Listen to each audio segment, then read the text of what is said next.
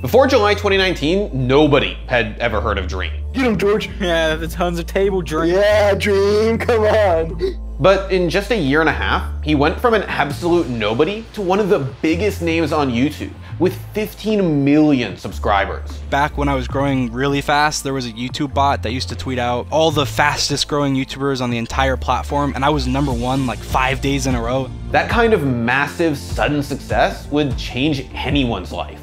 But for Dream, not all those changes were positive. I find it incredibly hard to believe that Dream would cheat, but man, I don't know how you dispute this shit. Dream's incredible rise to fame was unprecedented, but it didn't come without controversy or mistakes. It's the story of a kid who set out to reach the top, but wasn't totally ready for what he found there.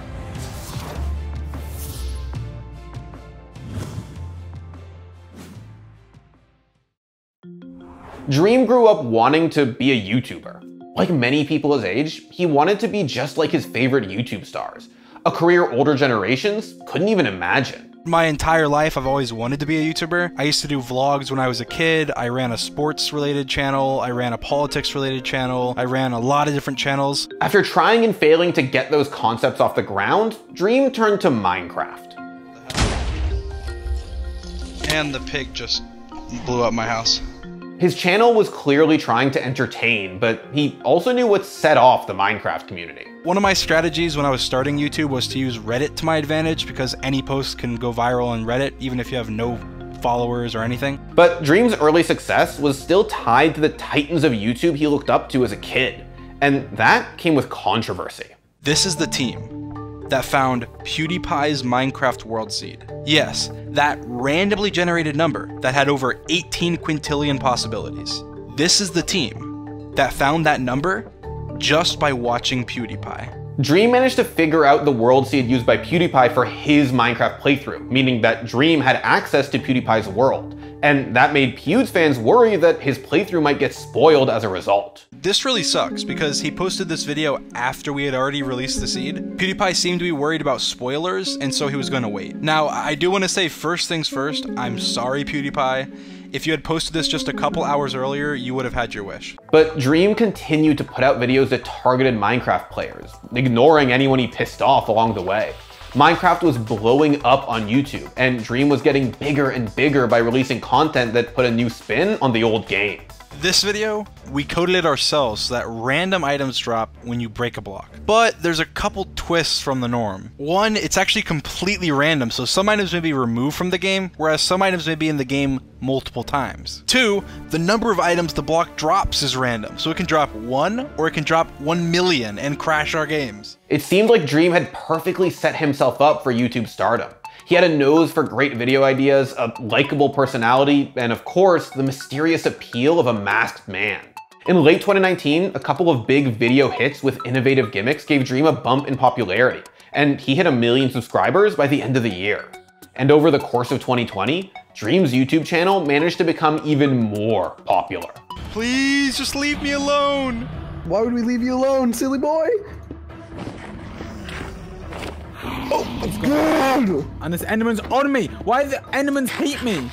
Series like Minecraft Manhunt did a lot to popularize Dream as not only entertaining, but also a legitimately good Minecraft player. This video is an absolutely new and unique challenge. I'm gonna try and beat Minecraft before my friend kills me once. If I die, the video is over and I lose. My friend gets a compass to track me and can respawn infinitely. The outplays, big brain moments, and banter between Dream and his companions pushed his popularity to a whole new level. Get him, get him, George. Yeah, the tons of table Dream. Yeah, Dream, come on. No! No! Oh, the skeleton! Yes, get him, skeleton, get him. He Ow, ow, now she's shooting me. Oh my god. Dream's rise was literally unprecedented. In the span of a year, he went from an absolute nobody to one of the biggest content creators in gaming. And people didn't even know what he looked like. I actually first started planning to be a YouTuber probably in January 2019, but I didn't upload my first video until July 2019. I actually have this funny screenshot of me telling my friend Lakota that I planned it all out and that I was going to be a big YouTuber, and that was in February 2019, about four months before I posted my first video. It's been super crazy, and I, I remember back when I was growing really fast, there was a YouTube bot that used to tweet out all the fastest growing YouTubers on the entire platform, and I was number one like five days in a row, and I thought that was super insane. Dream's success morphed into something even bigger, most notably the Dream SMP, or Survival Multiplayer Minecraft server, where he and his friends, including the Dream Team, wove narratives through roleplay. Countless storylines were chronicled by Dream's fans, and Dream himself even started rubbing shoulders with celebrities, like Lil Nas X, who toured the server. Oh, that's the castle. It's Aerith's castle. Sick. By December 2020, Dream had gone from 1 million subscribers to 15 million. He was collaborating with massive names like Corpse Husband and Mr. Beast, and was an important influencer with his own merch and a legion of fans. There was just one problem. A couple months earlier, Dream made a mistake that threatened to destroy his entire YouTube empire. In 2020, Dream started speedrunning a specific Minecraft category called Any Percent Random Seed Glitchless, which is basically a race to kill the Ender Dragon in a randomly seeded world. And in October, Dream submitted a time for that category that made him the sixth fastest player in the world. Oh my god. Is it time? Is it time? You have 18 seconds. You have 18 seconds. Come on! Get in! Get in! No way!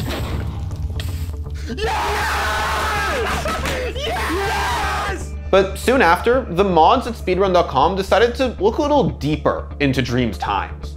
See, in order to complete Minecraft, you have to get these rare items called Ender Pearls to let you access the area where you can fight the Ender Dragon. But Dream was able to get these items a lot more consistently than mere luck should have allowed. See, Dream was getting pearl drops at an astronomically high rate. A rate that led YouTubers like Shell Guy and Video Game Dunkey to publish videos accusing Dream of cheating across recent speedruns he had streamed on Twitch. A speedrun.com mod named Geosquare eventually revealed the mod team's findings. Dream's luck wasn't just improbable, it was basically impossible. Now, this really isn't looking too good for Dream. Biasing in favor of him, giving very favorable circumstances, and assuming the best, the odds for all this happening is still around 1 in 678 trillion. As a result of that investigation, Dream's record was taken off the leaderboards. So I understood absolutely nothing when it came to the game, but the math behind that is so wild. I find it incredibly hard to believe that Dream would cheat, especially in what's not even a world record run. But man, I don't know how you dispute this shit. I can tell you guys immediately. This like, dude, this is so lucky, it makes no sense. But despite denying that he cheated, Dream's internet fame was creating more complications. He was doxxed when someone used photos of his home to track down his address and release it to the public. Another YouTuber, John Swan, impersonated him, sending racist messages to people. And as a now massive celebrity, Dream's tweets, messages, and even his attitude were constantly scrutinized. I mean, either way, you know, consent is a whole thing. You know? okay, what the f? Okay, don't make me get, don't make me get Tubbo in here, Ninja. Listen, don't make me get I Tubbo in here. bro. Don't make me. Jesus Christ. I know it's legal, Oh, G. look Don't at that dream. Don't make me get Tubbo in here. Even Dream's fan base started causing problems, going after anyone who dared to criticize their hero. By May 2020, Dream had finally had enough. The constant barrage of hate from all sides got to him, and he came clean. Dream admitted that his speedrun wasn't legit, saying that he discovered evidence that item probabilities had been modified in his speedrun by server-side add-ons that he claimed he didn't know about.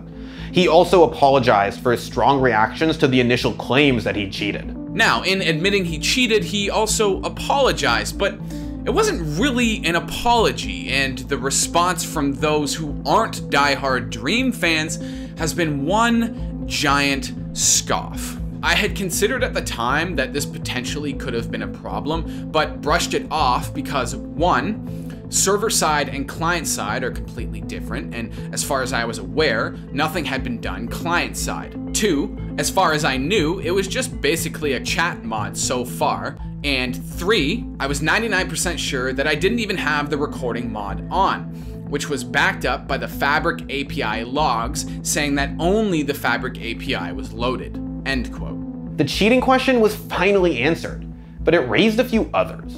Why did Dream take so long to admit he cheated? Had he really never considered how he got that lucky? And where did this leave his future and fandom? Like, if he had just come out and been straight with everyone and said something like, you know what, I fed up. I did cheat. I apologize. My bad. This whole situation would have been a non starter, in my opinion. When you finish Minecraft, there's a sequence to plays before you see the credits. It's a cryptic message, part short story, part psychedelic stream of consciousness. It's directed at the player, and at the end, it offers hope for a new beginning. And the game was over, and the player woke up from the dream, and the player began a new dream, and the player dreamed again. Dream better. You are the player. Wake up. Dream clearly made mistakes, but he also brought something new and fresh to Minecraft, a scene with a deep history and a keen sense of wonder. It's impossible to predict what he'll do in the future. So far, the controversies haven't had a substantial impact on his popularity. But one thing seems clear. In 2021, there is a legion of fans hoping that Dream will begin a new dream, and that this time, he'll dream better. Thanks for watching. If you want more content like this, hit the sub button and ring that notification bell. For unique bite-sized videos you won't find anywhere else, hit up our Instagram, Twitter, and Facebook pages.